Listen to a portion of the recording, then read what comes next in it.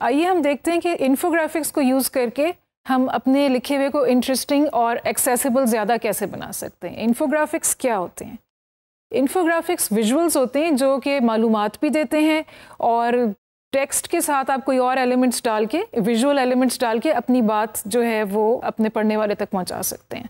तो ये डिफरेंट तरह के होते हैं, जैसे आप यहाँ देख सकते हैं पाई चार्ट्स फ्लो चार्ट्स इसकी मिसालें हैं रिपोर्ट्स भी इस तरह बन सकती हैं एडवर्टिजमेंट्स में ये इस्तेमाल होते हैं, यानी कि कोई एक इमेज होती है और उसमें कोई टेक्स्ट या जो मुनासिब उसके मुताबिक डिजिट्स होते हैं, वो होते हैं और उससे जो है कोई, हो सकता है कोई प्रोसेस दिखाया जा रहा हो कि कोई काम कैसा किया जाए तो इस, इन तमाम चीज़ों के लिए इन्फोग्राफिक्स इस्तेमाल हो सकते हैं। जैसे कि हमें मालूम है कि अब लोगों का अटेंशन स्पेंड पढ़ने का कम से कम होता जा रहा है ऑल्सो जब आप ऑनलाइन कोई चीज़ डालते हैं तो उसकी ऑडियंस ज़रूरी नहीं है किसी बहुत ख़ास लेवल ऑफ़ लिटरेसी के ऊपर हो। उसमें स्टूडेंट्स भी हो सकते हैं, कम पढ़े लिखे लोग भी हो सकते हैं।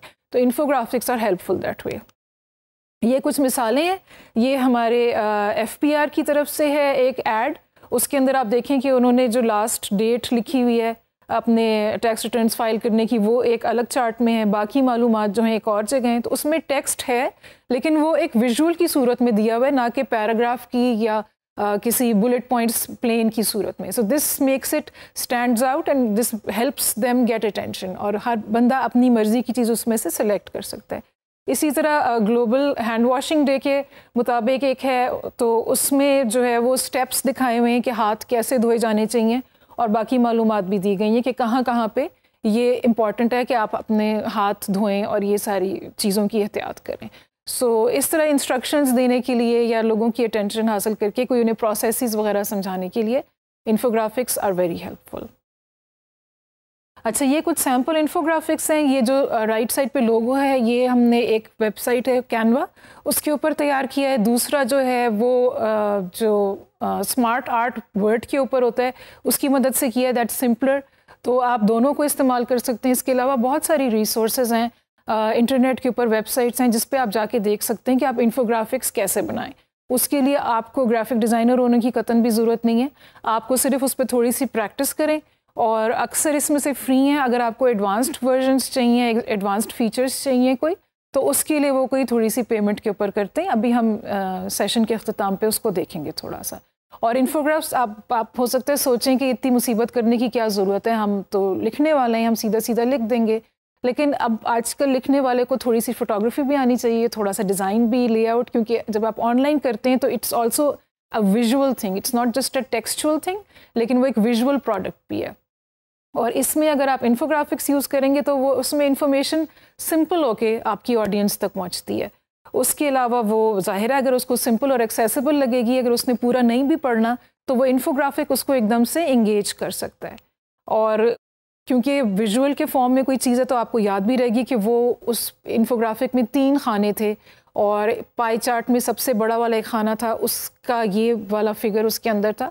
तो it's easier for information to be retained also और ये कि जो कम पढ़े लिखे या ज़्यादा पढ़े लिखे लोग हैं, वो सब उसको एक्सेस कर सकते हैं। हो सकता है मुश्किल लैंग्वेज को या लंबे सेंटेंसेस को वो इतनी इजीली एक्सेस ना कर सकें। कैनवा की वेबसाइट को देखते हैं see how you like it and I hope you can explore other things also on your own अच्छा कैनवा डॉट कॉम की ये इंटरेस्टिंग बात है, क्योंकि मैं भी बहुत सारे लोगों की तरह मेरी बहुत टेक्नोलॉजी अच्छी नहीं है, और बेसिकली क्योंकि मुझे लिखने का शौक है और टेक्नोलॉजी का इतना नहीं है, लेकिन इसमें यह है कि मुझे लगा कि ये तो कोई भी कर सकता है। Even I can do it तो आई एम श्योर सब लोग कर सकते हैं। मैं थोड़ा सा इसका आपको दिखाती हूँ।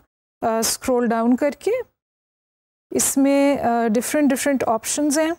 ब्राउज़ कर सकते हैं आप डिफरेंट इन्फोग्राफिक्स को। डिफरेंट स्टाइल्स हैं उसमें थीम्स हैं। पोस्टर्स आप बना सकते हैं। लोगों को डिज़ाइन कर सकते हैं। और उसमें इनविटेशन कार्ड्स बना, बहुत सारी चीज़ें बना सकते हैं। आप खुद एक्सप्लोर करेंगे तो आपको बहुत मज़ा आएगा। उसके अलावा जो है, आप अपनी कोई टेक्निकल एक्सपर्टीज़ शो कर सकते हैं ग्राफ्स इसमें तैयार हो सकते हैं, जैसे आप यहाँ पे देख रहे हैं। और इस तरह के इसमें कई सारे ऑप्शंस हैं। कोलैबोरेट भी कर सकते हैं टीम्स में भी मिलके आप बना सकते हैं, इसमें दोस्तों को अपने इनवाइट कर सकते हैं। तो उसके अलावा इसको थोड़ा सा मैं क्लिक करके आपको दिखाती हूँ इसमें डिज़ाइन के एलिमेंट्स बड़े उन्होंने अच्छे, मज़ेदार आपको ऑप्शंस दी हुई हैं।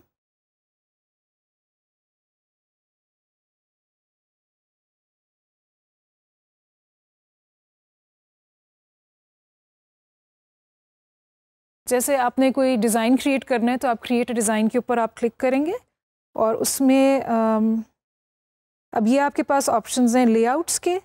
अगर आप इधर जाएँगे तो ये एलिमेंट्स हैं। एलिमेंट्स में बहुत सी चीज़ें आप पिक्चर्स देख सकते हैं फ्रेम्स हैं डिफरेंट तरह के। ये आपकी इंटरेस्ट के लिए मैं थोड़ा सा दिखा रही हूँ। ये फ्रेम्स हैं जो आप यूज़ कर सकते हैं।